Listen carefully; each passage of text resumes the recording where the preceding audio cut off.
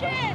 Justice for Vincent Chin! You just don't walk away after you've killed a man. You just don't absolutely go and beat a man to death with a baseball bat. Do you think this trial would have occurred had not your group gotten involved?